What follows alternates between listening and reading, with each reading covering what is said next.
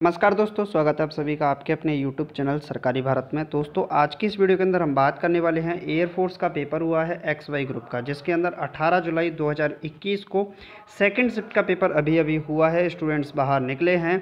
और जैसे ही स्टूडेंट बाहर जुड़े, निकले तो जो स्टूडेंट मेरे साथ जुड़े हुए थे, उन स्टूडेंट्स ने व्हाट्सअप पर क्वेश्चन जो उनको याद थे मेमोरी बेस्ड क्वेश्चन मतलब जो उनको क्वेश्चन याद थे, उन्होंने क्वेश्चन भेजे हैं। तो मैं सभी क्वेश्चन को आपके सामने ले आया हूँ और अठारह जुलाई जुलाई सेकेंड शिफ्ट का एनालिसिस हम करने वाले हैं।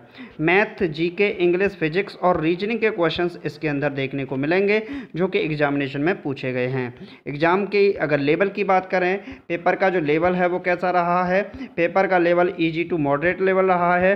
फ़र्स्ट शिफ्ट में कुछ क्वेश्चन ऐसे थे जो कैलकुलेटिव थे, लेकिन इस शिफ्ट में ऐसा कुछ देखने को नहीं मिला है। हाँ फिजिक्स में तीन चार क्वेश्चन थे जो कि डिफ़िकल्ट लेवल के थे। बाकी सब कुछ आसान है पेपर पूरा आसान आया है और दोस्तों, आप सभी को बता दूँ, अगर आप एयरफोर्स एक्स वाई ग्रुप की तैयारी कर रहे हैं, या फिर आप एसएसआर नेवी की तैयारी कर रहे हैं, या फिर आप डबल ए की तैयारी कर रहे हैं, या फिर आप एनडीए की तैयारी कर रहे हैं, या फिर आप एमआर की तैयारी कर रहे हैं, या फिर आप पोस्ट कार्ड की तैयारी कर रहे हैं, इनमें से किसी भी एग्ज़ाम की तैयारी कर रहे हैं और आपको इस बार सलेक्शन लेना ही है। एयरफोर्स में सेलेक्ट होना है नेवी में सेलेक्ट होना है, यानी डिफेंस के किसी न किसी एग्ज़ाम में सेलेक्ट होना है। तो आप लोग चैनल को सब्सक्राइब करना यार बिल्कुल मत भूलिएगा। अभी अभी अपना चैनल ग्रो कर रहा है और अच्छे से थर्टी के फॉलोअर्स भी यहाँ पर होने वाले हैं, तीस हज़ार फॉलोअर कंप्लीट होने वाले हैं। तो चैनल को सब्सक्राइब ज़रूर कीजिएगा। तो चलिए फ्रेंड्स, समय नहीं कवाएँगे स्टार्ट करते हैं आज की वीडियो। तो दोस्तों, पहला सवाल है, जो कि क्वेश्चन पूछा गया है, four sine square theta minus one equal to zero, then theta की वैल्यू क्या होगी? देखिए, बहुत आसान सवाल पूछा गया है। क्या पूछा गया है? Four sine square theta. Four sine square theta minus one बराबर ज़ीरो दे रखा है। तो आप यहाँ से क्या करेंगे? फोर साइन स्क्वायर थीटा बराबर वन को ट्रांसफ़र कर देंगे तो एक। तो साइन स्क्वायर थीटा बराबर अगर आप यहाँ से निकालते हैं तो ये निकलेगा वन बाई फोर। और साइन थीटा की वैल्यू अगर आप यहाँ से निकालते हैं तो साइन थीटा की वैल्यू आएगी वन बाई टू। यानी कि हम यहाँ से कह सकते हैं sine theta sine theta. One by two किसकी वैल्यू होती है? साइन थर्टी की। साइन थर्टी का मतलब कितना होता है? पाई बाई सिक्स होता है। क्या होता है? साइन तो ठीठा बराबर कितना आ गया? अब आपको फॉर्मूला पता होगा थीटा बराबर क्या होता है? N pi plus minus one की पावर एन अल्फ़ा ये फॉर्मूला होता है जब साइन थीटा बराबर साइन अल्फ़ा हो तो यहाँ से जो वैल्यू निकलेगी थीटा बराबर N pi plus minus one की पावर एन अल्फ़ा। अल्फ़ा की जगह पर क्या आएगा? पाई बाई सिक्स आएगा। तो इसका मतलब कौन सा सही ऑप्शन हो जाएगा? Option number A is the right answer. यहाँ पर दोनों जगह माइनस है तो तो ये गलत हो गया। ये एन पाई, ये होगा नहीं नन होगा नहीं तो यहाँ पर क्या होगा? N pi plus minus one की power N into pi by six. तो चलिए फ्रेंड्स, नेक्स्ट क्वेश्चन देख लेते हैं। तो नेक्स्ट क्वेश्चन वेक्टर का है, आसान सा सवाल है। यहाँ पर नंबर ये गलत डाल दिए हैं तो A plus B plus C vector A plus B plus C बराबर ज़ीरो है। Mod of vector unit vector three दे रखा है। मॉड ऑफ़ यूनिट वैक्टर पाँच दे रखा है मॉड ऑफ़ सी वैक्टर क्या दे रखा है? पाँच दे रखा है। तो यहाँ से दे क्या रखा है? Vector A plus vector B plus बराबर हम इसको ट्रांसफ़र कर देंगे तो माइनस वेक्टर सी हो जाएगा। क्या हो जाएगा? माइनस वेक्टर सी हो जाएगा। अब यहाँ से हम दोनों तरफ़ की स्क्वायरिंग वो साइड कर सकते हैं। बिल्कुल कर सकते हैं। तो ये क्या होगा? मॉड ऑफ़ वेक्टर ए का square plus mod of vector B का square plus two mod of vector vector A dot vector B हो जाएगा। ये क्या होगा? Minus mod of vector C का स्क्वायर। ए, बी की वैल्यू अगर यहाँ से हम रखेंगे तो ए का मान तीन रखेंगे। तीन रखने पर क्या बनेगा? ये बनेगा आपका नौ और ये बनेगा पाँच का स्क्वायर पच्चीस प्लस टू। इसको लिखेंगे ए डॉट बी कॉस्टीटा क्या लिखेंगे? ए डॉट बी कॉस्टीटा और ये क्या होगा? माइनस का सी का मतलब फोर्टी नाइन। अब इसको हम ट्रांसफ़र कर देंगे। क्या कर देंगे? ट्रांसफ़र कर देंगे। अब अगर यहाँ से हम इसको ट्रांसफ़र करते हैं तो ए कॉमा बी वैल्यू निकलेगी। क्या निकलेगी? A comma B mod vector A mod vector B ये निकलेगा। तो नौ प्लस पच्चीस को ट्रांसफ़र करेंगे तो ये कितना बनेगा? चौंतीस। चौंतीस को दूसरी साइड में भेजेंगे तो A dot B mod vector A mod vector B cos theta यही तो निकलेगा। बराबर माइनस का फोर्टी नाइन और माइनस का कितना होगा? चौंतीस। तो इसको भी ट्रांसफ़र कर देंगे। फिर यहाँ से हम इसको सॉल्व करेंगे। तो ये जो वैल्यू निकलेगी कॉस्ट थीटा बराबर, ये वैल्यू निकलेगी माइनस का फोर्टी नाइन माइनस का थर्टी फोर अपॉन करके क्या निकलेगा? Two into mod vector A three mod vector क्या होगा? मॉडो वैक्टर बी होगा यहाँ पर। अच्छा ये माइनस होगा मॉडो वैक्टर बी होगा यहाँ पर पाँच। अब इसको हम कैंसिल आउट कर लेंगे, ये जाएगा सत्रह बार। ठीक तो ऐसे ही इसको सॉल्व करने पर यहाँ पर थीटा की वैल्यू निकल आएगी। थोड़ा सा स्पेस कम है, इसकी वजह से सॉल्व नहीं हो पा रहा है। आप लोग इसका आंसर कमेंट बॉक्स में बताइएगा। चलिए नेक्स्ट क्वेश्चन देख लेते हैं। नेक्स्ट क्वेश्चन पूछा गया है दोस्तों D two Y over D X two की whole power two into cos D Y over D X बराबर ज़ीरो तो ऑर्डर और डिग्री बतानी है। देखिए ऑर्डर क्या होता है? हाईएस्ट डेरिवेटिव ऑर्डर क्या होता है? ऑर्डर होता है हाईएस्ट डेरिवेटिव क्या होता है? Highest derivative is called order तो हाईएस्ट डेरिवेटिव कितना है? सेकंड है। तो इसका जो ऑर्डर होगा वो कितना हो जाएगा? टू हो जाएगा। डिग्री क्या होती है? जो हाईएस्ट डेरिवेटिव की पावर होती है हाईएस्ट डेरिवेटिव की जो पावर होती है, उसी को क्या बोलते हैं? डिग्री बोलते हैं। तो डेरिवेटिव टू उसकी पावर कितनी है? टू तो ये भी क्या हो जाएगा टू तो इसका मतलब ऑर्डर भी टू होगा और डिग्री भी टू होगी। तो ऑप्शन नंबर ए इस सवाल का सही जवाब होगा। चलिए, नेक्स्ट क्वेश्चन देख लेते हैं। नेक्स्ट क्वेश्चन पूछा गया है A comma B comma C, are N A P. A B C A P में है तो ए माइनस सी का whole square upon B square minus A C का मान क्या होगा? देखिए, अगर ए बी सी किसमें है ए पी में? तो मैं इनको लेट कर लेता हूँ। क्या कर लेता हूँ? लेट कर लेता हूँ। छः चार दो। भाई, ये भी तो एपी में होंगे। हाँ अगर हम दो चार छः मानते हैं तो माइनस की प्रॉब्लम आ सकती है, लेकिन छः चार दो मानेंगे तो सॉल्व करने में समस्या नहीं आएगी। तो आप लोग यहाँ से देखिए, इस वाले क्वेश्चन में हम इस वैल्यू को रखते हैं, ठीक है?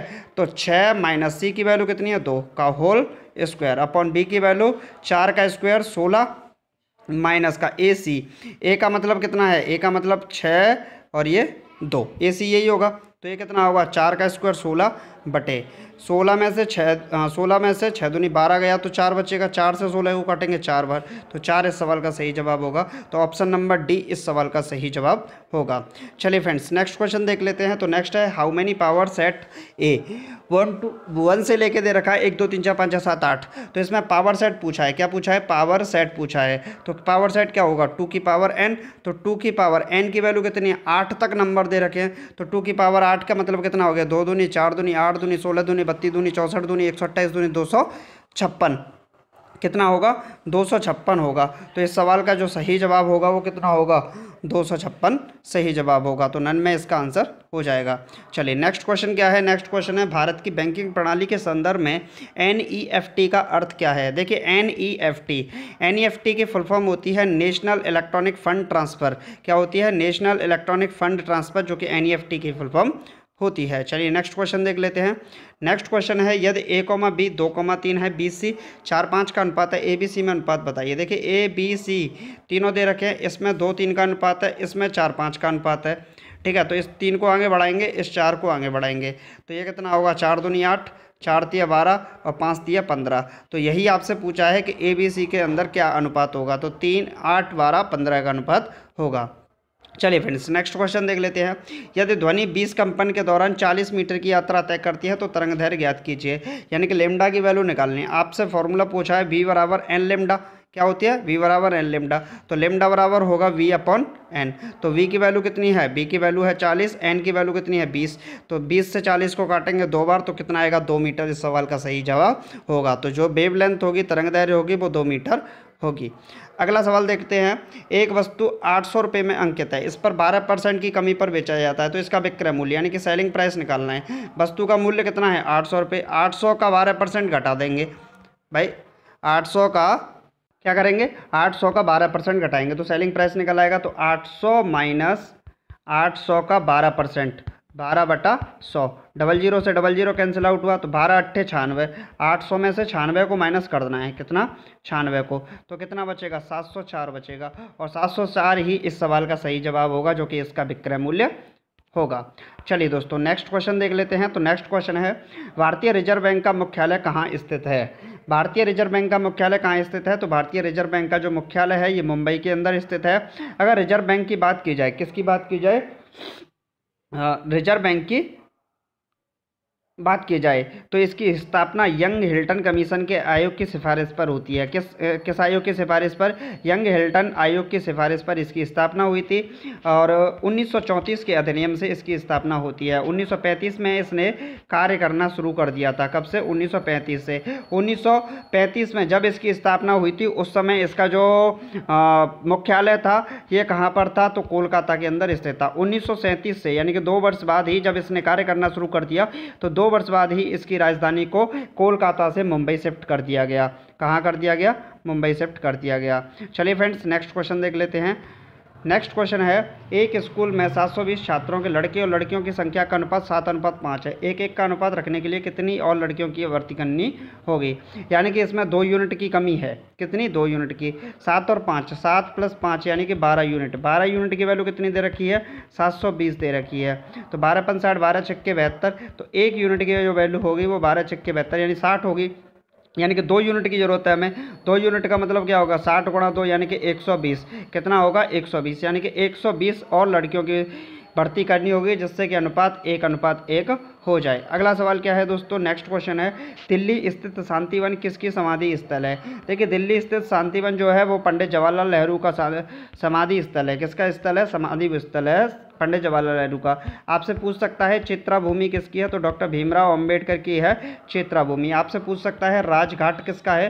तो महात्मा गांधी का है राजघाट। आपसे पूछ सकता है विजय घाट किसका है? विजय घाट तो विजय घाट है चौधरी लाल बहादुर शास्त्री का। किसका लाल बहादुर शास्त्री का? आज आपसे पूछ सकता है किसान घाट कौन सा है? तो किसान घाट है चौधरी चरण सिंह का। किसका है? चौधरी चरण सिंह का। आपसे पूछ सकता है, अभय घाट किसका है? तो मोरारजी देसाई का अभय घाट है। कौन सा है? मोरारजी देसाई का अभय घाट है। आपसे पूछ सकता है, वीरभूमि किसकी है? तो राजीव गांधी की है। वीरभूमि किसकी है?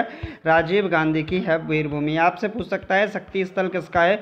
तो इंदिरा गांधी का है शक्ति स्थल। कोई ना कोई क्वेश्चन ज़रूर टकराएगा। चलिए नेक्स्ट क्वेश्चन देखते हैं। गायत्री मंत्र किस पुस्तक से लिया गया है?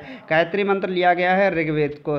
से, किससे? ऋग्वेद से। ऋग्वेद पढ़ने वालों को बोला जाता है हौरता। जो ऋग्वेद ग्रंथ को पढ़ते हैं, उनको क्या कहते हैं? हौरता कहते हैं।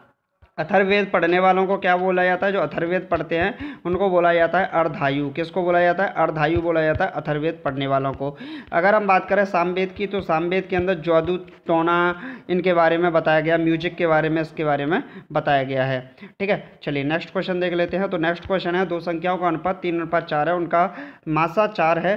देखिए, जब दो संख्याओं का अनुपात दे रखा है तो इसका मतलब उसके अंदर कोई भी चीज़ मैच नहीं है। तो एक्स का मान चार है जो मासा है वही एक्स का मान चार होगा। लासा ज्ञात करना है तो चार का गुणा कर देंगे। चार तिया बारह, चार चौके सोलह। बारह और सोलह का जो एलसीएम होगा वो कितना हो जाएगा? अड़तालीस हो जाएगा। और अड़तालीस इस सवाल का सही जवाब होगा। नेक्स्ट क्वेश्चन है, लोकसभा अध्यक्ष अपना त्यागपत्र किसे देता है? तो देखिए, जो लोकसभा का अध्यक्ष है वो अपना त्यागपत्र लोकसभा के स्पीकर को देता है। किसको देगा? लोकसभा का अध्यक्ष, यानी डिप्टी स्पीकर को देगा। किसको देगा? अपना त्यागपत्र डिप्टी स्पीकर को देगा। अगर बात करें प्रेसिडेंट किसको देते हैं तो प्रेसिडेंट देते हैं वाइस प्रेसिडेंट को। किसको देते हैं? वाइस प्रेसिडेंट को अपना त्यागपत्र जो राष्ट्रपति महोदय दे सकते हैं। आप लोग बताइएगा आईसीजे किसको दे सकते हैं अपना त्यागपत्र? International sorry CJI sorry CJI chief justice of India किसको अपना त्यागपत्र दे सकते हैं? तो दोस्तों एक last question O M R की फुल फॉर्म क्या है? तो optical mark reader O M R की फुल फॉर्म होती है। ठीक है? तो चलिए फ्रेंड्स मिलते हैं नेक्स्ट वीडियो में। Thank you thank you for watching this video अगर आपको वीडियो अच्छा लगा तो वीडियो को लाइक करके चैनल को यार सब्सक्राइब करना बिल्कुल ना भूलें। Thank you for watching this video